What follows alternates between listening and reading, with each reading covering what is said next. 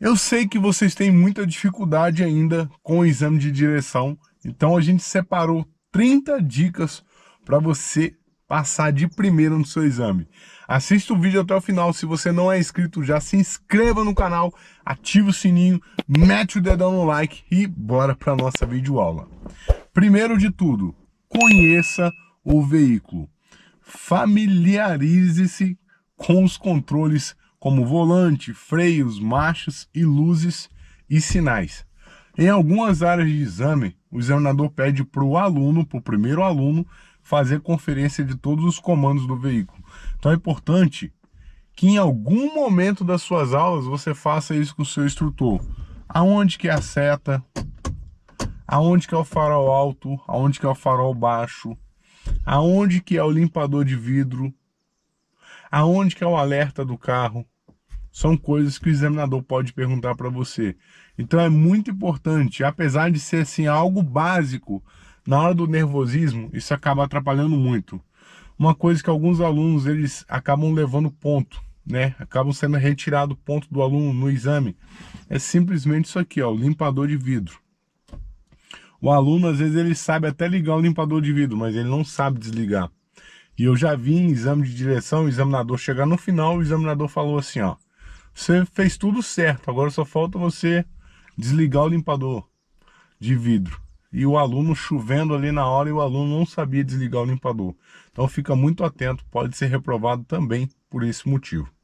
A nossa segunda dica, a dica número 2. Estude as regras de trânsito, esteja ciente das leis de trânsito locais, sinais de trânsito e prioridades cada área de exame é única. Nenhuma área de exame vai ser igual a outra.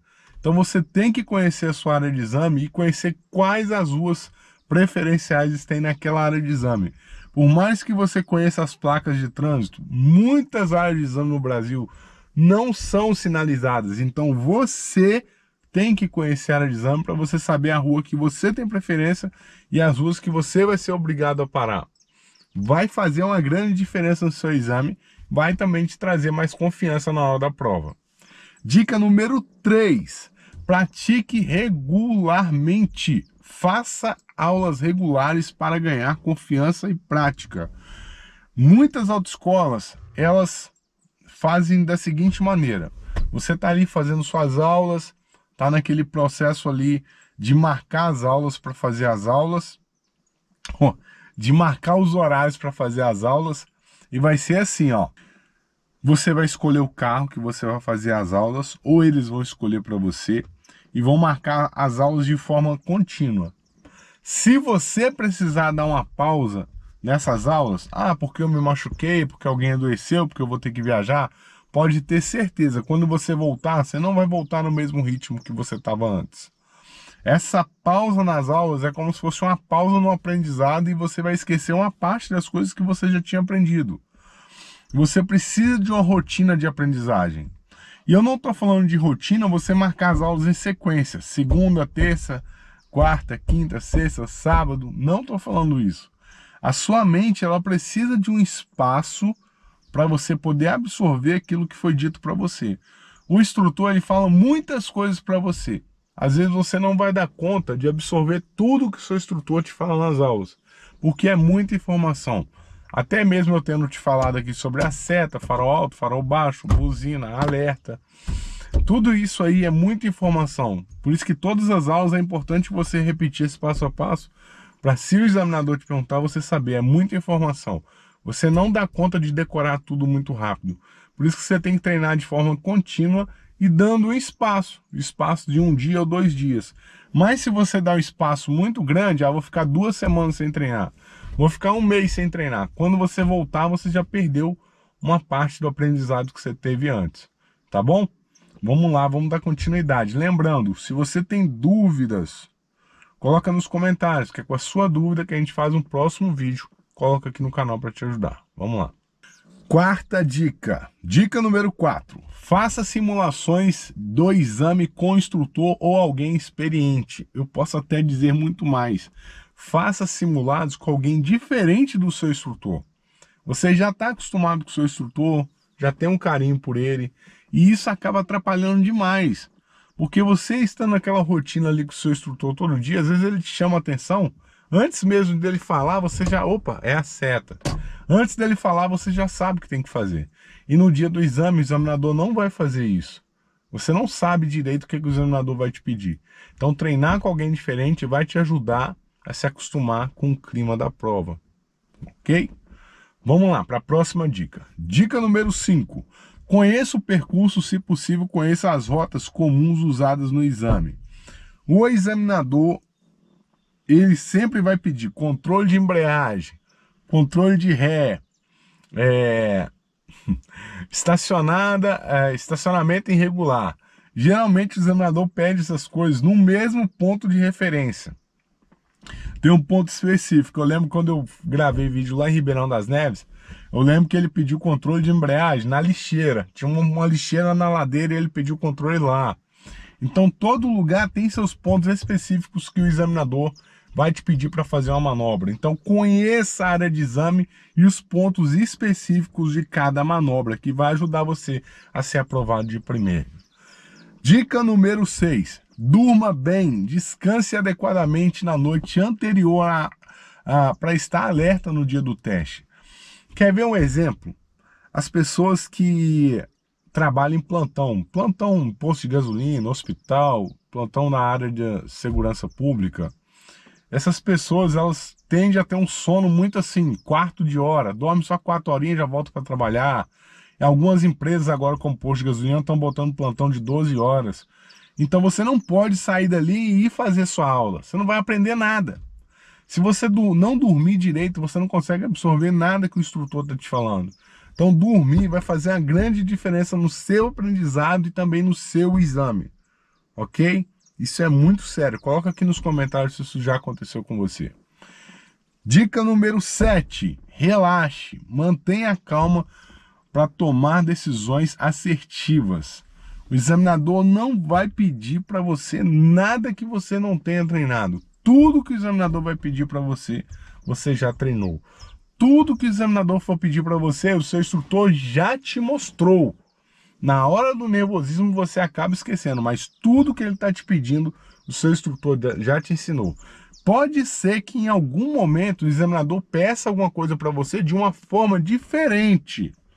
O seu instrutor fala assim: para para mim, faz uma parada para mim e faz o controle de ré. O examinador fala assim: ó, para sem usar o freio. É uma forma diferente, mas você já treinou isso que ele está te pedindo. Você não pode esquecer de se inscrever no canal e ativar o sininho para você não perder as próximas dicas aqui. Dica número 8. Use cinto de segurança. Certifique-se de que todos os ocupantes estão com cinto de segurança. Essa dica é interessante, porque em algumas áreas de exame, é, muitas pessoas falam assim, ah, mas eu mandei o examinador colocar o cinto e ele me reprovou. Ou eu não mandei o examinador colocar o cinto e ele me reprovou. Só que em, em grande parte do Brasil já tem câmeras no carro. Justamente os pontos que eu estou com as câmeras aqui, é os pontos onde tem as câmeras na área de exame. É, no Rio de Janeiro ficava uma câmera no teto, uma câmera aqui no meio, onde está essa lâmpada aqui, uma câmera aqui na frente, tá? Então, o examinador, ele era examinado também junto com você, pois tinha os, os, uma banca que ficava de olho na, nas câmeras. Se acontecesse alguma coisa de errado dentro do carro, eles tinham acesso às imagens. E nesse ponto foi interessante, o examinador era o primeiro a colocar o cinto. Então, muitos lugares têm câmeras hoje em dia. Então, o examinador coloca o cinto. Ele sabe que ele tem que estar com o cinto, tá? Muitas vezes o examinador, ele entra no carro, ele não coloca o cinto porque você não colocou o cinto. Porque se simplesmente o examinador entrar no carro e fazer isso aqui, ó, barulhinho. Se ele colocar o cinto, se você estiver sem cinto, você vai lembrar de colocar o cinto. Então muitas vezes ele não coloca o cinto esperando você colocar o seu cinto. Então você simplesmente vai pegar aqui, ó, coloca o seu cinto e você pode esperar. Ele tá anotando um papel, tá fazendo alguma coisa, mas ele vai colocar o cinto. Eu lembro na minha prova na categoria D, e o ônibus que eu fiz a prova era um ônibus todo bonitão, ele tinha as cadeiras acolchoadas, ele tinha um lugar para colocar, ele tinha um, um, todos os cintos. Eu fiquei esperando o examinador sentar e colocar o cinto. O examinador que estava do meu lado aqui, ele colocou o cinto. O examinador que ficou em pé dentro do micro-ônibus não colocou o cinto. Ele foi o tempo todo de pé ali observando o que eu estava fazendo. Não se preocupe, o examinador sabe da responsabilidade dele. Se preocupe com a sua prova. Se preocupe com o seu desenvolvimento na prova. Isso é a isso é a obrigação dele. Você não precisa se preocupar que ele sabe que tem que colocar o cinto, tá certo? Dica número 9.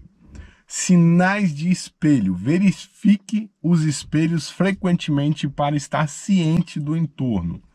Muitos alunos dirigem assim, ó, o candidato vai fazer a prova, ele dirige assim, ó, o tempo todo, travado, travado. Quando ele precisa olhar o retrovisor, ele faz só assim, ó. A cabeça do aluno não se mexe, só os olhos, ó. Só que um dos examinadores, ele está sentado atrás de você. E é justamente ele que fica o tempo todo com a prancheta. Então você tem que exagerar na olhada. Se você não demonstrar que está olhando, ele vai tirar dois pontos da sua ficha. Lembrando que aqui na descrição tem fórmula da aprovação passo a passo que a gente criou aulas em vídeo para te ajudar a passar de primeiro no seu exame. Quem entrar lá hoje ainda tem acesso ao meu WhatsApp para tirar todas as dúvidas, tá bom? Vamos lá. Dica número 10. Use os indicadores de direção, sinalize claramente antes de fazer a conversão. Por que, que essa dica está descrita dessa maneira? Se eu acabei de falar que tem que olhar o retrovisor, não vale. Ó, liguei a seta, puxei o volante, olhei o retrovisor. Não vale, você vai perder a prova, não vale. A maneira correta é, olhou o retrovisor, ligou a seta, ó, olhou o retrovisor de novo, exagerar bem na olhada, depois que você vai mudar de faixa.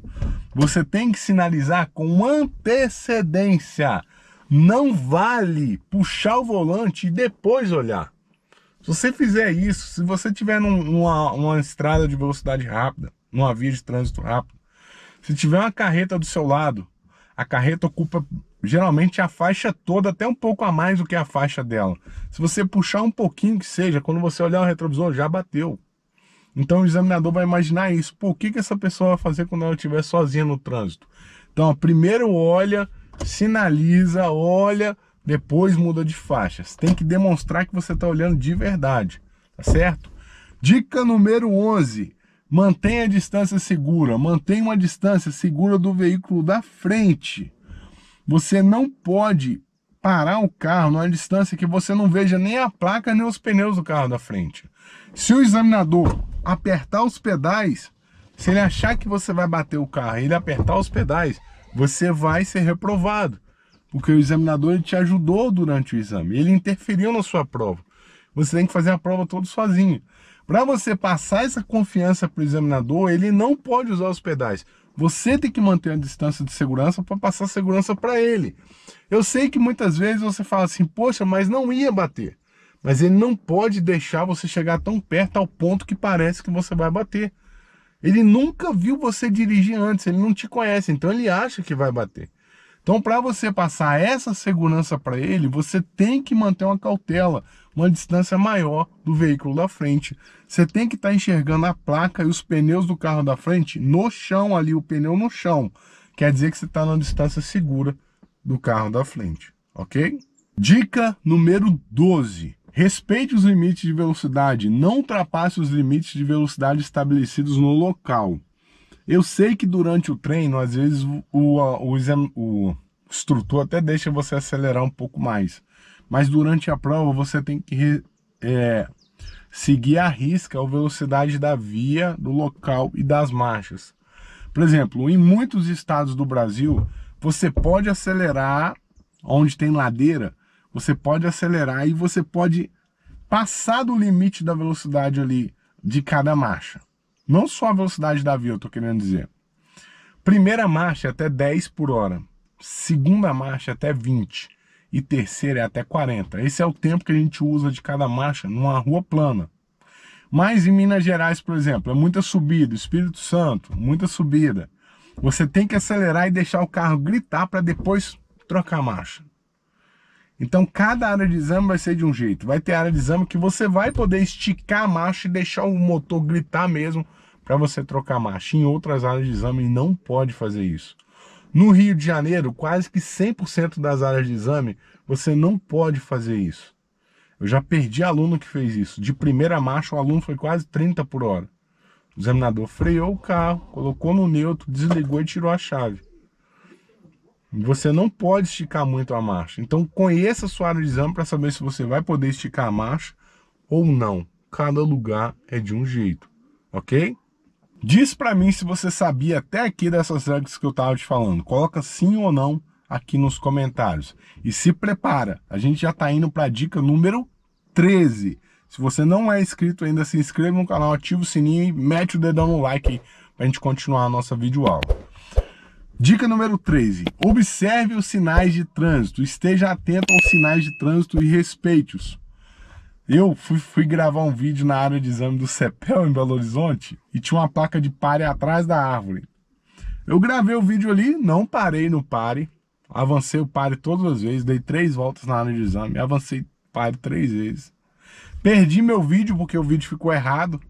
Depois que eu postei os vídeos, vários instrutores foram lá comentar, mas tem um pare, tem um pare, tem um pare. Quando eu dei uma pausa no vídeo, eu vi que tinha um ferro, mas não dá para ver o pare. Então treinar na área de exame que você vai fazer o exame, conhecer a área de exame faz total diferença. Tem muita placa escondida. No Espírito Santo, em Vitória, muita placa mal instalada, muita placa longe da esquina, ou muito em cima da esquina. Então você tem que conhecer para saber bem como que funciona a sinalização naquele local. Cada local é de uma maneira. Não tenta achar que sua área de exame é igual a outra, porque não é. Cada local é de um jeito, ok? Vamos partir para a nossa dica número 14. Vamos lá, se você não compartilhou ainda, compartilhe esse vídeo com mais um amigo. Compartilhe pelo WhatsApp com mais um amigo que você sabe que precisa de passar no exame, ok? Faça as paradas obrigatórias, pare completamente em sinais de pare em faixas de pedestre se necessário. É normal, quem já tem um hábito, quem já sabe dirigir, ele vem freando o carro e vem fazendo assim, ó. Aí ele reduz para a segunda, aí vem fazendo assim. Aí ele reduz para a primeira e vem fazendo assim. E vai passando, vai passando. Aí o examinador dá aquela brecada no carro e fala: Você perdeu. Pá, perdi? Como assim eu perdi? É, você foi reprovado. Ué, mas eu olhei. Não, não é olhar, é parar. Parada obrigatória é para você parar totalmente o carro, para você olhar para os dois lados. Você tem que parar totalmente, você não pode continuar. Parada obrigatória é parada mesmo, você tem que parar o carro totalmente para poder olhar para os dois lados. Quase que 100% das pessoas que perdem a prova nisso são pessoas que já sabem dirigir ela já tem um domínio do pedal ali para fazer o carro passar durante o par em câmera lenta. Porque quem está aprendendo, ele não consegue passar em câmera lenta. Ele tem que parar por primeiro, achar o ponto de embreagem para depois sair. Então fica muito atento você que já sabe dirigir para não cair nessa pegadinha, tá bom? Vamos lá. Dica número 15. Controle de embreagem e aceleração. Tem um controle suave sobre a embreagem e, a, e o acelerador. Algumas pessoas acham que o que tira o carro na ladeira ou no controle, mesmo do pare, como eu estava falando, é o acelerador. Ela vai, vai, vai, acelerando, acelerando, acelerando, porque quer que não quer que o carro volte, quer que o carro vá só para frente. Só que alguns examinadores tiram ponto exatamente por causa disso. Ele não quer que você queime o disco de embreagem. O próprio examinador não quer que você faça isso. Ou você acelera demais, solta a embreagem uma vez e canta pneu com o carro. Pode até ser maneiro aí no, quando você está dando um rolé com a galera, né? Você, a galera faz isso aí, pode até ser maneiro isso na rua. E você pode levar multa na rua também. Mas no exame, isso aí você vai perder ponto na hora. O carro não pode cantar pneu. Se o carro cantar pneu, quer dizer que você não dominou a embreagem. Você soltou a embreagem uma vez e além disso estava acelerando demais. Outro fator também é deixar o carro voltar. Quer dizer que você não dominou a embreagem. O que segura o carro é o ponto de embreagem, não é o acelerador. O acelerador vai fazer o carro sair, mas o que vai segurar o carro no lugar é a embreagem na altura certa. Tem vários vídeos aqui no canal que eu falo sobre isso. Para te ajudar, eu vou deixar um vídeo aqui, ó, na descrição. Primeiro vídeo, não vou deixar vou deixar no primeiro comentário isso. No primeiro comentário eu vou deixar uma super aula para você de baliza e de ladeira para você assistir, tá bom? Bora lá para nossa próxima dica. Dica número 16. Estacionamento. Pratique diferentes tipos de estacionamento, paralelo, perpendicular e etc. Algumas áreas de exame tem aqueles muito sortudos que vão fazer a baliza no local plano. E tem outros que não tem sorte nenhuma na vida que vai cair na baliza na ladeira. Ou a ladeira de frente ou a ladeira que o carro vai ter que voltar de ré. E isso é um problema sério. Por quê? Muitas vezes o aluno ele treinou só na área perto da autoescola dele e ele não nunca fez baliza na área de exame. Ou porque está lotado, ou porque a área de exame é fechada. Tem vários outros motivos. Ou porque ele não sabe qual percurso ele vai cair. Eu lembro quando eu gravei em São Paulo, tem percurso A, B, é, isso, A, B, C. E o aluno não sabe qual, ele vai, qual percurso ele vai cair. E lá tem baliza na ladeira. Então treine todos os tipos de baliza. Para chegar na hora, você não perder por causa justamente disso. Por não ter treinado hum, com situações diferentes. Sabe? Até por causa da cor. Eu já tive aluno que perdeu porque ah, sempre treinei com a baliza branca. No dia da minha prova, a baliza é vermelha. Eu fiquei pensando, gente, por que, que eu não levei ele para treinar em outra baliza? será que a culpa foi minha? Será que. Eu fico pensando nisso. Porque é muito ruim a pessoa ser reprovada por um, um fator tão simples, sabe? A pessoa tem que pagar 450, 550 reais, às vezes perde o emprego, perde a oportunidade de um concurso público, por causa de um fator tão simples como as cores da baliza ou a amplitude da baliza, se é a baliza na ladeira ou se é a baliza no plano. Conta aqui para mim se isso já aconteceu com você. Dica número 17. Observação dos retrovisores. Olhe sempre para os retrovisores antes de mudar de faixa de direção. Como eu disse, primeiro você olha, depois você muda. Exagera na expressão corporal para ele ver que realmente você está olhando. Se olhar só com a bolinha dos olhos, vai falar que você não está olhando. Se você for fazer a manobra de ré, você não vai olhar só os laterais, você vai olhar esse retrovisor aqui do meio. Você não pode esquecer nele. Na manobra de ré, você vai fazer um, dois, três. Um, dois, três. O olhar ele vai indo e vai voltando. Em algumas áreas de exame é permitido também olhar para trás. Aí você tem que conferir como que é aí na sua área de exame. Coloca aqui nos comentários para mim, tá bom? Dica número 18. Cuidado com os pedestres. Dê prioridade ao pedestre sempre que necessário.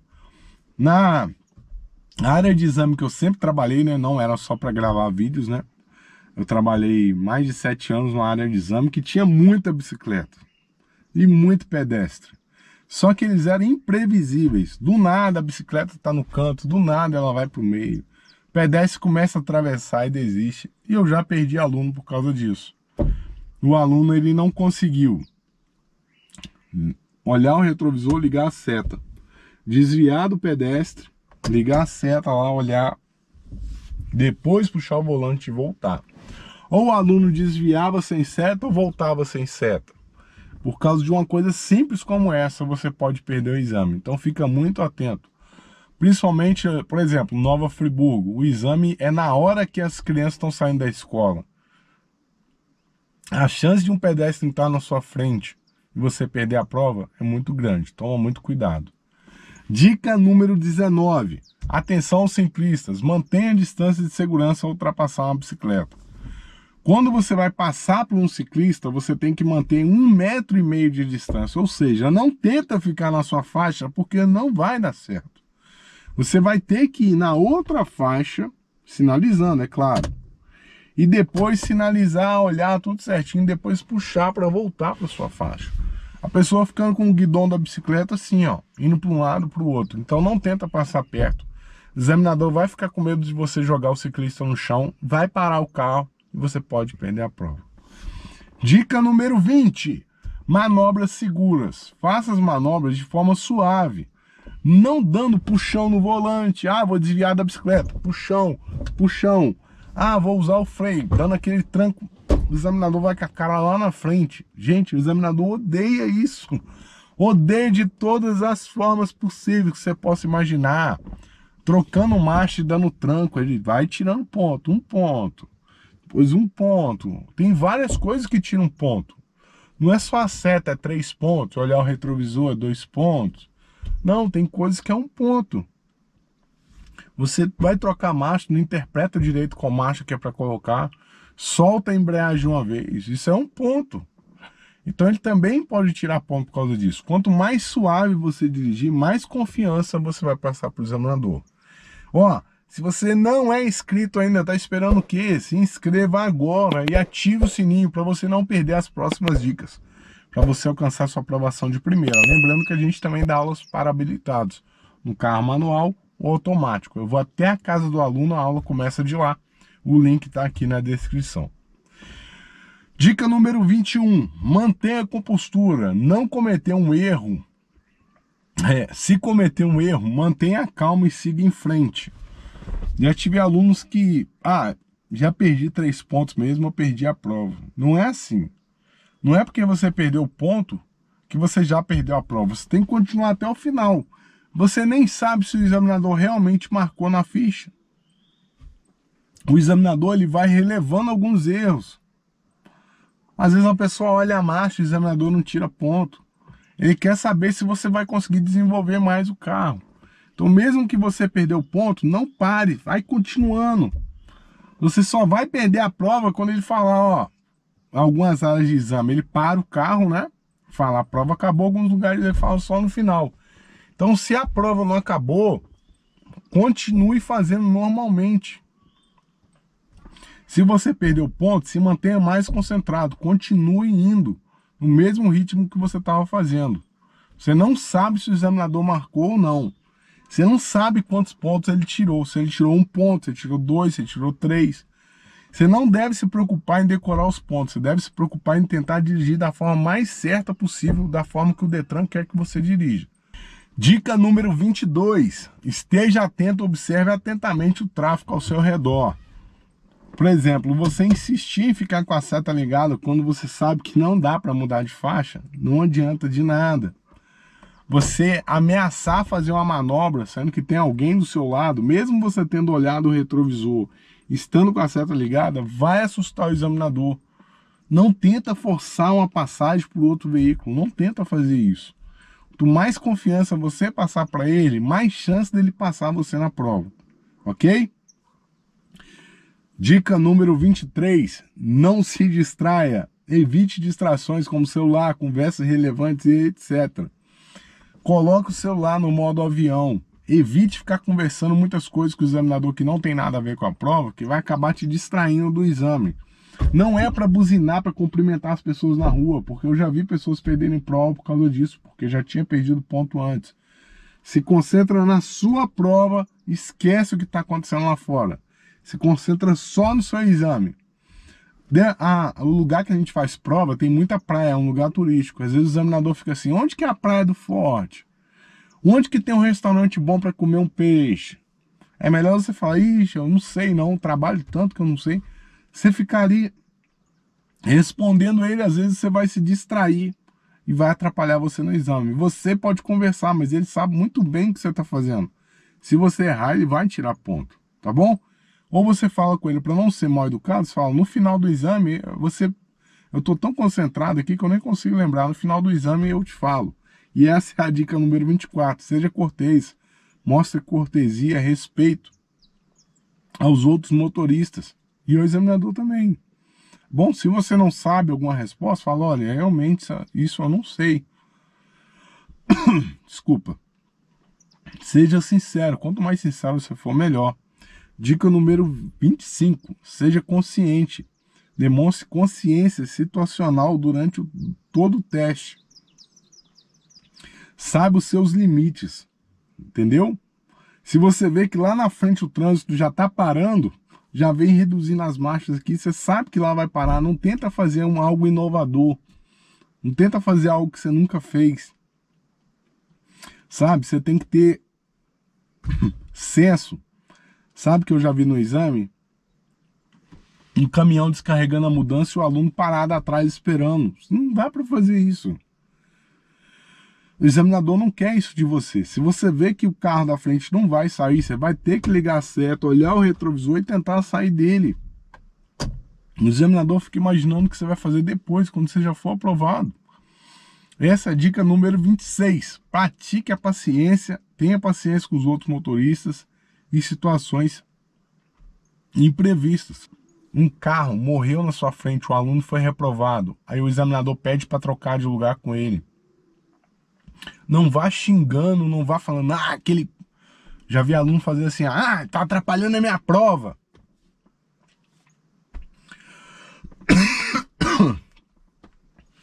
A prova não é só sua, a prova é de todo mundo. O trânsito é um bem coletivo, não é só você que participa do trânsito, todo mundo participa do trânsito. Você tem que ter consciência disso para você passar uma boa imagem para o examinador. Dica número 27. Siga as instruções do examinador atentamente. Se ele pedir para você virar à direita, se você acha que não escutou direito, pergunta de novo para ele. Se você passar direto, você não cumpriu a etapa do exame. O exame é feito de etapas. Se você não ouvir direito, pergunta de novo. Você tem que virar onde ele pede para você virar. Acabou aquela época que o examinador jogava pegadinha e falava, vira à direita, e a direita na contramão. Isso acabou. Fique atento para você não cometer esse erro. Dica número 28. Não hesite em perguntar. Se tiver dúvidas, pergunte ao examinador. É o que eu acabei de falar. Se você acha que é para virar ali, se você está com dúvida se ele falou não, aonde é que eu tenho que virar mesmo? Pergunta para ele, fala, olha, me desculpa, mas eu não escutei direito. O que, que eu tenho que fazer mesmo? Onde que eu tenho que virar? É que eu não conheço o percurso, eu não moro aqui. É simples, você está falando a verdade, você não está mentindo. 100% dos alunos não moram na área de exame onde vai fazer a prova. Você não mora naquele bairro ali. Então você pergunta para ele, quanto mais você perguntar, menos chance de você errar. Dica número 29. Evite movimentos bruscos. Mantenha movimentos suaves e previsíveis. Eu já vi aluno foi fazer a baliza assim, ó. Seta, marcha, freio de mão, olhar para os dois lados. O próprio examinador falou, faz mais devagar. O próprio examinador falou. Puxar isso aqui com violência, sabe? Não precisa puxar o freio de mão com violência. Ó, pode até contar os cliques, ó. Um, dois, três, quatro, cinco. Pode ir contando aqui. Faz com calma para dar tempo dele ver você fazer os movimentos. Se você vai fazer muito rápido, sabe o que pode acontecer? Ele vai falar que você não fez. Ah, mas eu, desli... mas eu liguei a seta. Ele não ligou. Ah, eu liguei e depois eu já desarmei ela. Ele falou, então não ligou. Faça movimento sempre suave, para dar tempo dele ver você fazer as coisas, sempre com calma. Dica número 30. Não tenha pressa. Faça tudo de forma tranquila e segura, para você passar o máximo de confiança para ele possível. E lembre-se, cada teste pode variar, mas essas dicas geralmente ajudam a estar mais preparado para o seu exame prático de direção. Cada área de exame vai ser de um jeito, nenhum exame vai ser um igual ao outro. Mas as dicas que foram ditas aqui vão te ajudar demais você a realizar o seu sonho da sua aprovação. Eu já fui aluno igual você, perdi ponto em todas as minhas provas. Só na prova da categoria A de moto que eu não perdi ponto, o resto tudo eu perdi. Até na prova para o concurso público, eu perdi ponto. Na prova prática, não conhecia o percurso, nunca tinha dirigido aquele micro-ônibus. É claro que eu ia perder pontos, estava na cara. Como que eu ia fazer um percurso que eu não sabia o percurso e não conhecia o micro-ônibus? É claro que eu ia perder ponto. O importante é você conseguir se manter concentrado depois que perde ponto. É igual o Mike Tyson falava, né? Todo mundo tem um plano até levar o primeiro soco. É a mesma coisa no exame de direção. Todo mundo tem um plano até perder o primeiro ponto você vai perder ponto. O exame de direção ele é passível de perder ponto. Por isso que ele tem os pontos para ser perdidos. Você pode perder três pontos. Por que, que fizeram isso? Porque eles sabem que as pessoas perdem ponto. Ninguém vai para o exame 100% sabendo, ah, não vou lá para o exame, não vou perder nada. Alguma coisa você pode perder sim. Muitos examinadores agora estão, estão com o hábito do seguinte: chega no final da prova, o aluno não perdeu nenhum ponto. Conta para mim se foi assim com você. Não perdeu nenhum ponto.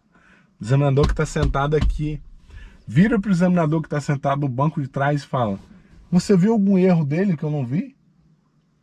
Aí o examinador de trás fala assim: É, realmente eu vi. Vou riscar aqui dois pontinhos.